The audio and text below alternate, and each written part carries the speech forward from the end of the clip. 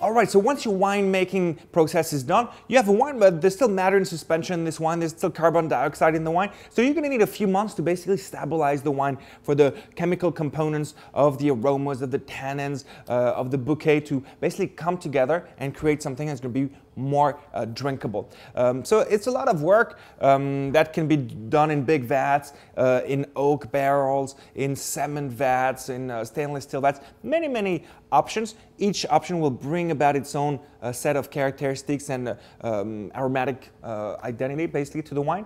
Um, as a winemaker, there's several things you need to do during that time. You're going to do the bleed off, which is basically you know passing on the, the wine from one vat to the other to separate the wine from the lees. Uh, you're going to top off all the, um, all the barrels um, to prevent oxidation in these barrels. You're going to filter the wine. Many things basically to prevent um, uh, future uh, threat to the wine, which could be chemical or microbiological threats uh, that basically are going to be a problem commercially for the winery. So absolutely crucial time for wine after fermentation, what we call the élevage and the raising literally of the, um, of the wine, which has to do with somehow a bit of an education uh, of the wine.